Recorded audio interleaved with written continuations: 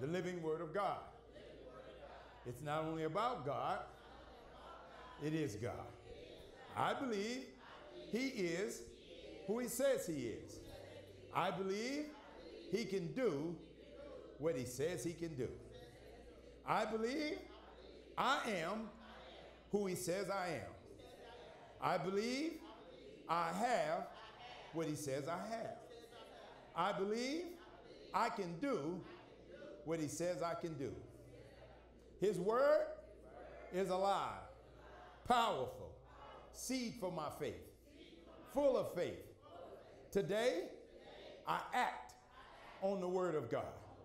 Today, I decree I am a believer with all rights, all covenants to this book. Today, I confess I am more than a conqueror. I believe I am because he says, I am more than a conqueror. Today, I believe I walk by faith and not by sight. I act on this word, and my life changes today in Jesus' name. Amen. You can be seated in the presence of God. Those of you that were here last week, we're going to pick that message up later. But whenever I get a demand on my spirit at 2:30 in the morning, I always know God has decided to shift. So if he decides to shift, I will shift when God shifts. So today we're going to move into First Kings. Go to Second Kings, the fourth chapter. And what God is beginning to show me is that I'm preaching and telling you who Jesus is. But for some reason, some of you are not putting enough demand on the anointing. You're not putting enough demand on the anointing of the living God, and you're not understanding that God is a God that desires to do miracles every day and every situation. Uh, beginning on Tuesday, we're going to go into consecration. Those of you, especially all my ministers, but anybody in the church, you're going to need some financial breakthroughs right now. God called me into uh, consecration. We're going to begin Tuesday. I was going to begin Monday, but because you may be doing things with Veterans Day, we want to honor people who have made this country the great country it is and allows us to have freedom. Freedom is not free. People die for us to have freedom, and you do not want to take it for granted. Amen? So, when I woke up this morning, I knew God was talking if I can't go back to sleep, so I always know to yield to Him. Some of you have begun to walk with God in a place where He wakes you up early in the morning to talk with you and begin to tell you what He's doing. So go to the fourth chapter the book of Second Kings, and I'll begin reading. It says, Now there cried a certain woman of the wives of the sons of the prophets unto Elisha, saying, Thy servant, my husband, is dead. And thou knowest that thy servant did fear the Lord, and the creditor is come to take unto him my two sons to be bondmen. And Elisha said unto her, What shall I do for thee? Tell me, what hast thou in the house? And she said, Thine handmaid hath not anything, hath not anything in the house save a pot of oil. Then he said, Go borrow the vessels abroad of all thy neighbors, even empty vessels, borrow not a few. And when thou art come in, thou shalt shut the door up on thee and upon thy sons, and shall, somebody say, shut the door. Nah, he said, shut the door up on thee and upon thy son. Hmm, I just picked up something there. And shall pour out into all those vessels, and thou shalt set aside that which is full. So she went from him and shut the door upon her and upon her sons, who brought the vessels to her, and she poured out. And it came to pass when the vessels were full that she said unto her son, Bring me yet a vessel. And he said unto her, There is not a vessel more. And the oil stayed. Somebody say, stayed. stayed. Then she came and told the man of God, and he said, Go, sell the oil and pay thy debt, uh-huh. and live thou and thy children of the rest. We're, we're just going to deal with the expectation of miracles. The expectation of miracles. Let us pray. Father, in Jesus' name, I need your help, Holy Spirit. Release, Lord God, that which you have called for this house today touch every heart. Let this seed, Lord God, the word of faith, ignite what is necessary in their lives, in their possession, to move the mountains that are set before them. In the name of Jesus, we pray. I need you now, Lord. Amen. Amen. It is very important that when you begin to operate in faith, we've been preaching on Jesus and whatever you ask in the Father's name and lift up Jesus. But there are some times and situations in your life that you're going to need to move your faith and move things. I wanted to move into faith because the just shall live by faith. And you know, our vision is empowering people to live by faith that they may enjoy the righteousness of God. And I told you that a lot of those scriptures, they came from originally from Matthew, where it says, Seek ye first the kingdom of God and all of his righteousness. And then it says, And all these things shall be added unto you. And in layman terms, means spiritual renewal brings about economic revitalization. And one of my favorite scriptures is Romans 1 16 and 17. And that is the scripture that says, I am not ashamed of the gospel, for it is the power of God unto salvation to whosoever believes, to the Jew first and also to the Greek. For therein is the righteousness of God revealed from faith to faith. For therein is the righteousness of God revealed from faith to faith. And then it says, For it is written, the just shall live by faith. So you have no other operation of living except by faith. And faith is not believing strong, faith is a tangible power that creates things. It's the tangible power that makes things come into existence. It's the tangible power that brings anything that's in this book to life. Does not matter what it is. If it's a miracle of healing, if it's a miracle of finances, whatever it is, it brings tangible things to life. But what we need to see in our text here, we find that in this particular place, it made some specifics in the Old Testament when we're dealing with Elisha. Now, I'm not talking about Elijah.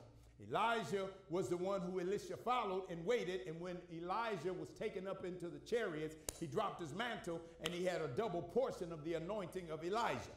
We're talking about Elisha here. I'm going to hit Elijah a little later here. But nevertheless, it says a certain woman. A certain woman, not, not any woman, not just some fly by night person, but it's always a specific. Look at somebody and say, I'm important to God. It says a certain woman. That means that he is identifying that somebody had a relationship with God. And she identified herself and said something very powerful. She said, You know my husband. I had a relationship. You know how he lived. In other words, I'm one with him anyway. So you know what he was and who he was. And he said, What do you have? She thought she had nothing but oil. Whenever you expect God to do supernatural things, you have to quit looking for things that come from the outside because God is not surprised by the situation. He has already prepared everything in you.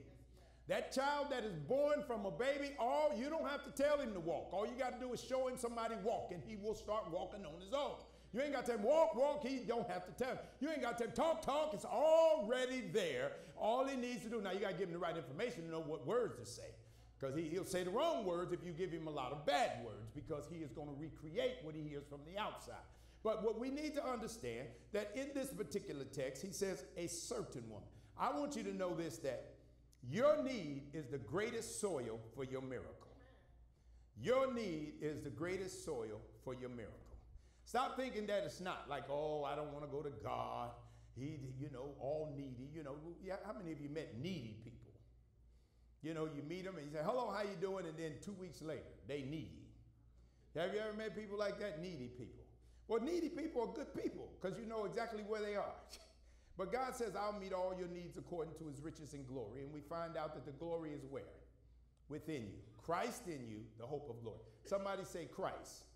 Say the anointed one, the anointed one and his anointing. his anointing. You need to recognize that there's something inside of you that can create and that there's something in your hand that has the ability. Somebody say seed faith.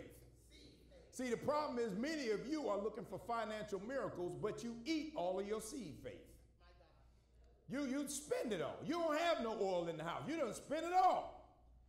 Everything. You you I mean you go to restaurant after restaurant, you go here, you go there, you got to have the latest this, the latest that, but you're not sowing no seed. But then you wonder why you're not getting a big increase on your money. You're only getting what you are. If your money is the same as the sinner's money and you're not doing more with yours, there is a breakdown in the anointing on your money because your money is supposed to go further. If they need 20% to buy a house, you don't need but 3.5. And you got to quit thinking like the world thinks because your money is anointed and connected to God. But if you think it's not, then it's not. As a man thinketh in his heart, so is. If you think that you have to do what they do, I don't care what they do. My God said he's able to do exceedingly and abundantly above all I can even think what they said, or able what I can ask. I only know how to ask for a house. I didn't know I need to be asking for an eight bedroom apartment. I didn't know I needed an apartment building. Who told me I just have to buy single family homes? Who said I need to qualify for that? I need to go somewhere where I can qualify for a 15 unit apartment building. They got them everywhere else up and down the street. Why can't my God give one to me? Why I got to be running around thinking about a garage? Amen. Somebody say God. Oh my God, God. He said, say God. So he, he asked her, what did she have? And this relationship thing with God is very important because it goes on and on. Now it's doing something different, right? It's okay? All right. This relationships with God that you set up with the people of God and in a unity of God, they continue. Somebody say they continue. So relationships count. They're very important. This is what I need you to understand. When a problem came, it was important that her position was correct and she was positioned next to God, connected to a man that was connected to God. So her position is important. Positioning is everything. So when you're in Christ, you're positioned where? Next to God. For he is seated at the right hand of the Father, and he is your advocate. He's the author and the finisher of your faith. As he is in heaven, so are we on this earth. Somebody say, I'll just believe it. So if I'm right next to the position of the person that I can talk to, why shouldn't more be happening on my behalf? Now, eh, I mean, there's some things you don't need to happen. You really don't need a jet right now. You don't know nobody that's going to pick you up at the airport when you get there. So you really don't need a jet. That's not what you need right now. Now, you might need a business that can produce money, and later down the road, because somebody heard about your business, you'll need a jet to get there to show them your business, or a better car, or driver, or whatever. But right now, you just need the business. Say the business. See, and that's what he gave her. He gave her something that was in her hand. He said, What you got? Because God didn't leave you left empty, He left you something to work with. No matter where you at, he left you something to work with because he loves you. He's going to leave you something to work with. So he left him something to work with. And she said, I got some oil. And he said, not only did she have oil, she had some credibility and she knew some people because the credibility reached past her into her children. And the children went out and borrowed the vessels. Say, borrowing ain't always bad. So don't let the devil tell you not to borrow, because if he told you not to borrow, America wouldn't be America if they didn't have a borrowing plan set up, because you wouldn't be able to buy nothing. Everything you own of any tangible amount has been borrowed. If it's a car, you had to borrow a little loan. If it's a house, most people ain't going in buying a house a long time ago where you can go take 8,000 and buy a house. You can't take 8,000 and buy a house today. But so more than likely, borrowing is necessary, and that's called good debt. That's okay. So she had the ability to borrow. Somebody say, make sure your relationships, sure your relationships stay, consistent. That's very important because that has something to do with her position. Now, the other thing she did, she had to be obedient because it didn't make sense. It made faith. That don't make sense. I got one bottle of oil, and you told me go borrow as many as I can and start pouring. Now that just don't even make sense. What you want me to do? Pour it and put water in it, or what? What? what you know, because if, if I put water in it, it's not going to burn. It's not going to be oil. But it requires an action on your part, and that's what we don't like. We don't like that part with God. We don't want to have to do nothing. Just do for me, God. The parts that I have to do, I might go for a house or something. Well, you're going to have to discipline your credit if you want a house. I, if God said I'll give you a house, now what that mean? Oh, now I'm going to run all my credit cards up because God said I'm going to get a house. No. The opposite. Get you some information as to how it operates. But once you do your action, it's very important that you do like she did. She did something else. After she borrowed everything, she shut the door. See, because now I got to go with God. See, you got to cut the doubters out and have faith people around. People that are in the operation. Don't let everybody in your business when you believe in from God. Shut the door. Let people out, especially when you get in a crisis. Crisis only take a couple people in a crisis. She didn't go all up and down the street. Oh, my husband. Oh, my husband. She said, Let me find that anointed man of God. Uh, this is my crisis. What should we do? You got to know who to go to because your position is with God. So He's got somebody that He has already positioned to help you. So when you have to go to Him, they will respond. He's got somebody. I, we had a situation, we had to do something. I called one person, sent the plan, they responded because God already positioned them able to respond. I didn't have to go all the way around the house. I didn't have to go to the world. I could have went to a cousin, go to the world. Oh, yeah, we got it, but what's happening? I, I don't have to explain. I can go to somebody right now, bam, get it resolved. Because God will position people around you to do what needs to be done. And then you join in and you get ready. Somebody say, get ready. Then, after she went into obedience, because it included her, she closed the door. You got faith, people. When you close the door, after it completed, she returned the report to the man of God.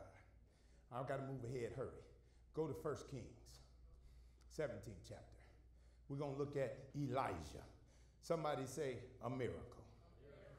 Go to 1 Kings, the 17th chapter. When you get a chance, read that whole 17th chapter. Make that be your business this week. Read the whole 17th chapter of 1 Kings. I'm only going to look at a couple verses because of time's sake. Nevertheless, this is Elijah. How many of you guys heard of Elijah? Elijah is also mentioned in the book of James, how he had enough faith, the Bible says, that he prayed that it wouldn't rain and that you could do the same thing. See, but your, your rain is always connected to money. Water and rain is connected to money. Say water, water. and rain is connected to life, prosperity, and abundance. So if you go into Las Vegas hotels, there's going to be money flowing because it shows flow. Money is the flow. Money is flowing. Water is flowing. So when he called for rain, you can call for what you need, but you always want to know that God has already placed something inside of you to produce it. You don't never have to ask God for money. You never have to ask him for money. Don't think you need to. You just want the right position to get the money you need. But you don't need the money because money is not the same everywhere, but wealth is the same everywhere.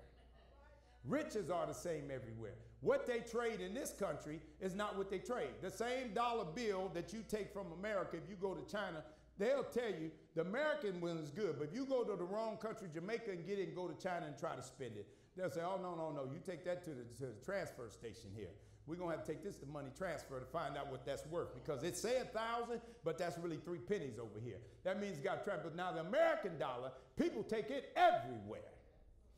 Say, I'm positioned right. Ah, you're positioned right. You're positioned right. See, position is important. So when you're in Christ, you're already positioned above all. Blessed going, blessed coming. The wealth and riches are upon you. So you're going to ask God, what do you want me to do to produce what I know I'm supposed to be doing on the inside? See, you have to ask. She knew that it was something wrong with accepting her sons just being sold. In the 17th chapter, of First Kings, beginning in the eighth verse. It says, And the word of the Lord came unto him, saying, Elijah, say, Arise, get thee to Zarephath, which belongeth to Zidon, and dwell there. Behold, I have commanded a widow woman there to sustain thee. Now he says, God says, I have already commanded somebody there. Say, God always has a person in position. So people who don't want people around and don't, don't like to ask nobody, I don't need nobody, you're going to be broke. You're going to have problem on top of problem because you don't need nobody, but you was created to communicate with people and he's going to give you brothers and sisters in Christ so that you can have faith people to agree. One of the most powerful prayers there is is the agreement of faith prayer. Touch and agree with me. He said, if any two of you touch and agree, I'll be there. I just need two of you to come in agreement. So it's very important that you have that. So then, when we go a little further, he says, So he arose and went to Zarephath. And when he came to the gate of the city, behold, the widow woman was there gathering of sticks. And he called to her and said, Fetch me, I pray thee, a little water in a vessel that I may drink. And as she was going to fetch it, he called her and said, Bring me, I pray thee, a morsel of bread in thine hand. And she said, As the Lord thy God liveth, I have not a cake, but a handful of meal in a barrel, and a little oil in a cruse. And behold, I am gathering two sticks, that I may go in and dress it for me and my son, that we may eat and die. And Elijah said unto her, Fear not, go and do as thou hast said. But make me thereof a little cake first, and bring it unto me, and after make for thee and thy son. Now that's that, now, now that's powerful. She just said she had just enough to make one cake for herself and her son to eat and die.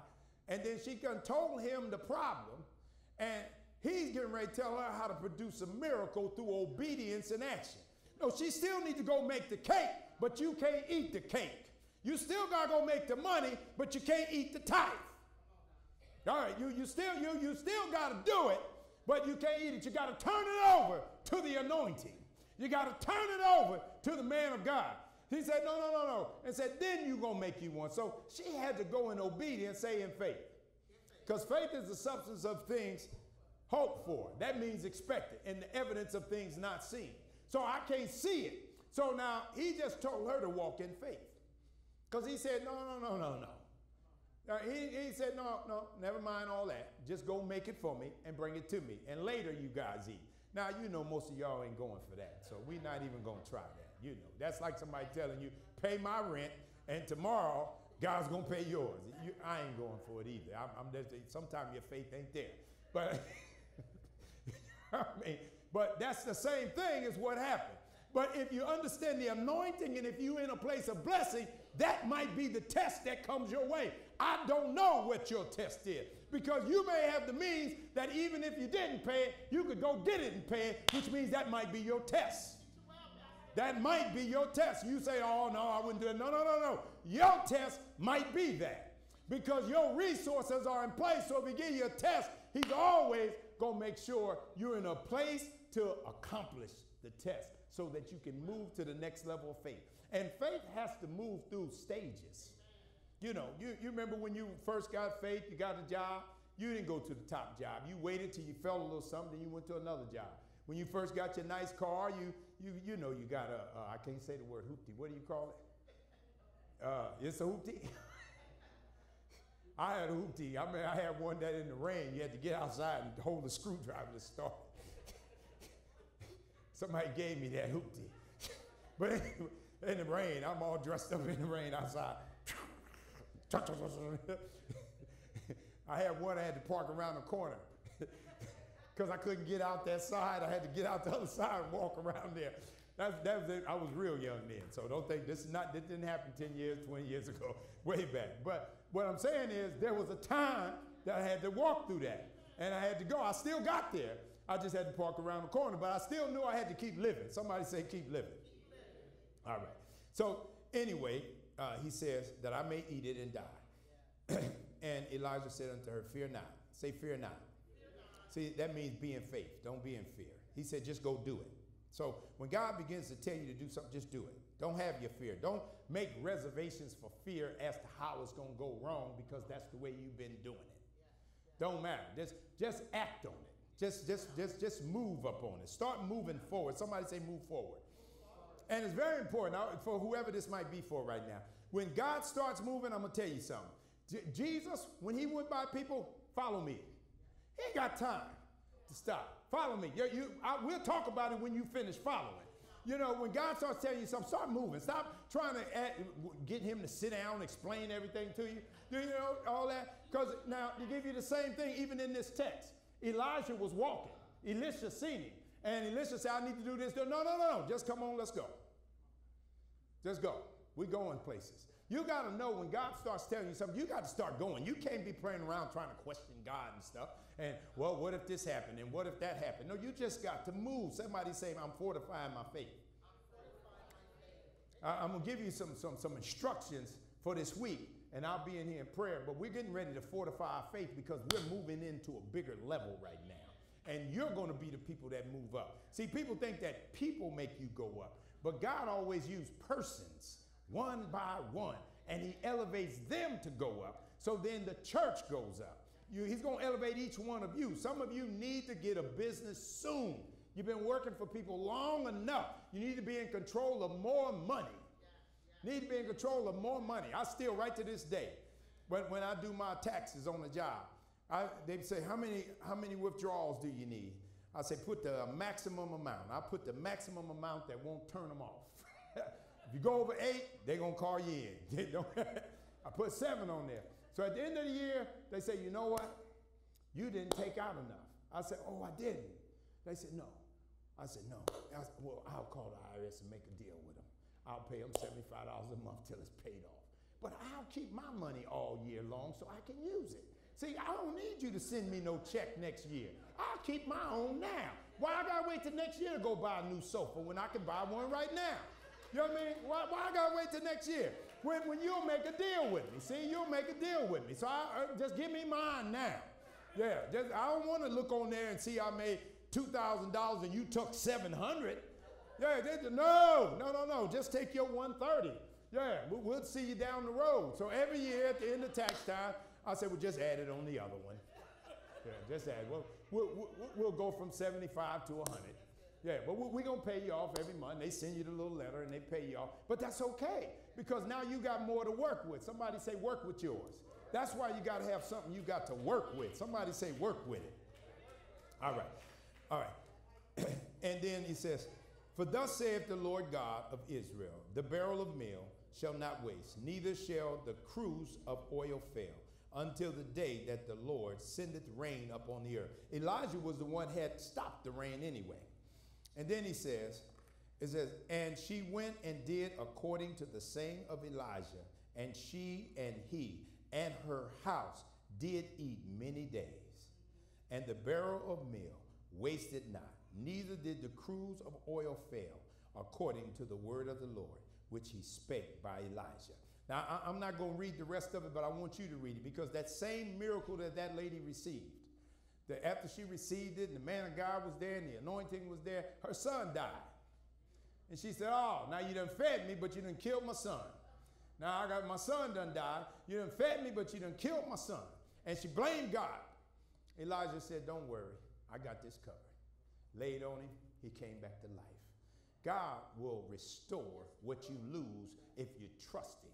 He has a way to restore what you lose if you trust him and he knows what you need before you need it. He knew what she had need of. You got to know when God has knows what you have need of. You think you need this, and you'll start trying to possess things that you can't possess because you can't possess people. But God knows what you need to help you through life when you get 75 years old, when you get 70 years old. Other people try to tell you what you need, but God knows exactly who and what. Somebody say God. Now, what I need you to see in both of these texts is that both of them were in need. So, being in need is a very normal function with God. So stop trying to you hear all this stuff. You know, you go on these jobs and everybody's trying to retire. I'm gonna retire, so I ain't gonna need nothing. After I retire, I'm just gonna enjoy my money, enjoy my money. And it's just so many people, their whole retirement fund and the whole nation is just screwed up something terrible. I mean, it's folk that ain't even getting half of the money that they supposed to retire for. But they all lined up with this retirement thing. That's all they talk about every day. How many years you got in? Oh, I'm gonna do another eight. I'm gonna do another this, and they, half of them finish them and die. Yeah, and die. And then things happen. You get fired on the job. Oh, sorry. You know what? We're not gonna give you your retirement. They got all kind of ways to keep it. And your Social Security, they got a little game that they play with that. Then you go in there at 65 to get it, and they say, well, you know, if you if you wait to get 70, we'll give you extra $300 a month. Yeah, but what if I die at 69? Yeah, then you don't get nothing. See, but between 65 and 70, you might get 80 grand to get an extra 300. No, no, no. Give me mine now. Yeah, yeah, I'm gonna work with it now because they hope that the number go up. By the time you get 70, it's more, it's more likely that you on your way out. So don't wait to 70. If, you, if it's 63 and you need it, get it. So you can work with it because it's yours. You can work with it. You know, they, they try to penalize you if you get it too early. If you get it at 62, they say, oh, no, no, you can't make more than this amount of money at 62. At 65, we'll give it all to you, though. So you can do how you want with that time based on where you are. But what I'm saying is, a lot of things are within your reach to begin to move in different areas of your finances, and you're going to have to use faith. Now, what is faith? Faith is the word of God. How do we know? Faith cometh by hearing, hearing by the word of God. So, since you're going to be moving in a financial arena, I got to make sure you get some scriptures on wealth building. Scriptures, this in the book. Scriptures on finances. So you can start confessing it. Because when you confess it, the atmosphere changes. See, if, if, if they bring in, uh, uh, what's her name, Taylor Swift to town, if they're to bring Taylor Swift to town, you're to start seeing billboards with Taylor Swift's name. You're to hear Taylor Swift's name on the radio. Why? Because they want the atmosphere conducive so when she hit the ground, everything swarms to her. So if you're going to know that that's how they do it, when God downloads information from the pulpit and wakes somebody up in the morning to tell you, I'm ready to do miracles, then you start getting ready for your miracle. Start expecting the promotions and stuff. Not wondering if somebody come to you about a promotion, uh, yes, I am in line. I'm going to start studying for that thing right now. I'm going to start positioning myself right now. If I, if, if I know I'm in position and I, I'm getting ready to buy a bigger house or a 10 bedroom house and I'm going to give downstairs to the women coming out of prison or whatever, Whatever you're getting ready to do, start moving in that direction around people capable of bringing those things into existence. You're capable. Why? Because you're seated next to the God. You're seated in Christ. And I need you to start moving like that. You need to start moving. You know, don't just be talking crazy stuff. Talk big stuff. Stuff that touch people. Things that touch people. Stop thinking about things that just touch you. You know, you, you, you don't have to look on everything because everybody's about themselves. Have you ever seen that? There's, there's no empathy no more. People are just apathetic. You know, they be ready to kill you on the highway. If you trying to get in the lane, you ain't going nowhere. I ain't gonna stop you from getting where you're going. Just let me in, man. You know what I mean? But me frowning at you and stuff. You don't even want me to get in the lane.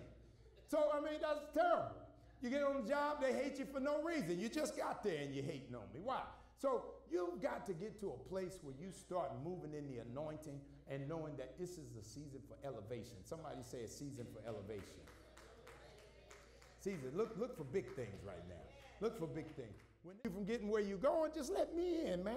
You know what I mean? But me frowning at you and stuff. Right? You don't even want me to get in the lane. So I mean, that's terrible. You get on the job, they hate you for no reason. You just got there and you're hating on me. Why? So you've got to get to a place where you start moving in the from getting where you're going, just let me in, man. You know what I mean? But me frowning at you and stuff. You don't even want me to get in the lane. So, I mean,